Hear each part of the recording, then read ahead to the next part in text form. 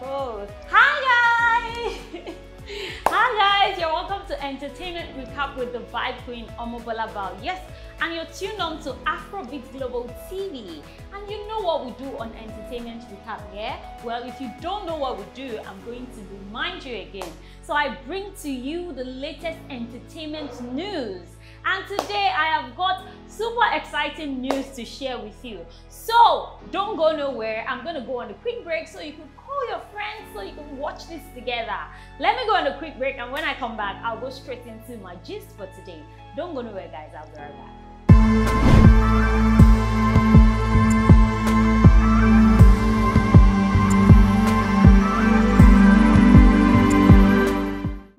Peru, hey, para. Peru, Peru, para. Donde para. Welcome back, guys. Yes, it is still your favorite entertainment recap show, E-Recap with the Vibe Queen Omobola. And yes, you're tuned on to Afrobeat Global TV. Before the break, I said I have got exciting news to share with you. Entertainment news, of course. Now, remember I started this particular segment with a song, Peru Para. Yes, it was selected on purpose because we are celebrating our own Fireboy DML. Well, not just Fireboy, we're also celebrating Ed Sheeran because the remix of the song Peru by Fireboy and Ed Sheeran is currently topping the UK. It's topping in the UK. Yes, actually number one on Apple Music platform.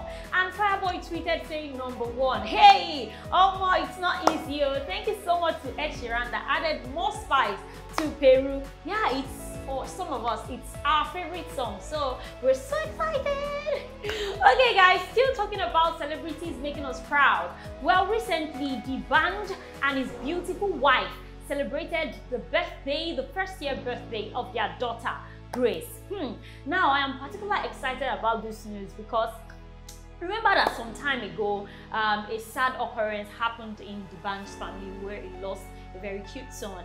And ever since then, I mean, God has been so good to his family because, you know, he has replaced with beautiful kids. And now his daughter was actually um, celebrated um, a few days ago. As she celebrated her first birthday. And it was super amazing because both daddy and mommy were present. And guess what? Daddy and mommy did not just you know um, stay there acting up like mommy and daddy they actually came down to the level of the kids because D'banj and his wife they were both dressed in a fluffy red mini skirts I mean it was super exciting to watch him uh, move around in that skirt and act alongside the kids and play games with them. It was super fun to watch and I am so sure that their kids had an amazing time. Now guys on to the next one. Hmm. Omo, I go love oh, I go love oh. And I am saying this because of no other than Simi and Adekunle Gold. Hmm, remember those two? If you've been following them perfectly, you know that once in a while they throw shades at each other. I mean, not just shades to cause fight oh. I mean romantic shades. So recently, remember that over the weekend, Nigeria was playing against um, Sudan and guess what? Adekunle Gold was tweeting the scores, appreciating those that were scoring the goals and all of that. And after he tweeted about a goal, you know, Simi just immediately tweeted, replied his tweets and said, see, imagine this one. Oh. So you are shouting goal, you are watching football, me and here mixing your songs for you. I mean, fans of both of them were all over that particular tweet, laughing and, you know, shouting, oh, so sweet, cute couple. And trust, bloggers actually posted that tweet of both of them because it was so cute to read from both of them. Okay guys, now on to my next news. Hmm. Now this is um, on one of um, the females in the entertainment industry doing great things. And this is no other than Mo Abudu, the CEO of Ebony Life Studios. Hmm. Now guys, if you've been very active on social media, you would remember that after Chief Daddy was launched on Netflix and people watched, there were mixed reactions. Some people were like, what is this? Why did I waste my data? In fact, for me personally, I was pushed to watch the movie because people were, you know, backlashing and tweeting negative comments about it. So I really wanted to see what the movie was because it had a lot of amazing actors. And I was like, wait, is it that these people do not know good movies or is this movie really bad? Well, people said a lot of things. And after I watched, yes, I have my own comments. I mean, I expected more considering the, the amazing people in the movie. But guess what?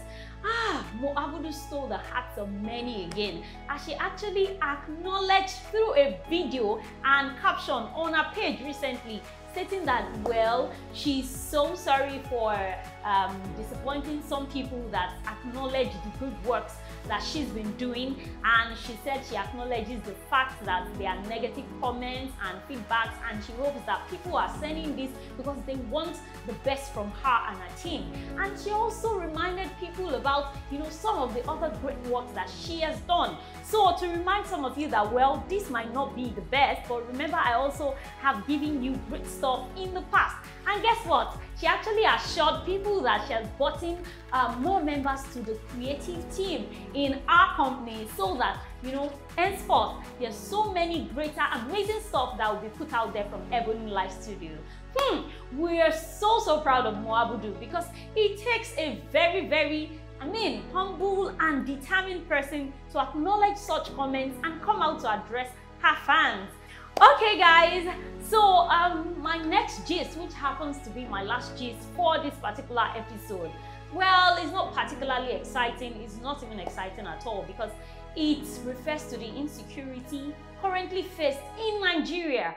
I mean, and it's really getting terrible. So recently, one of the actors in Nollywood posted on our social media platforms that she and her daughter just survived a very terrible bandit attack along Lagos Ibadan Way.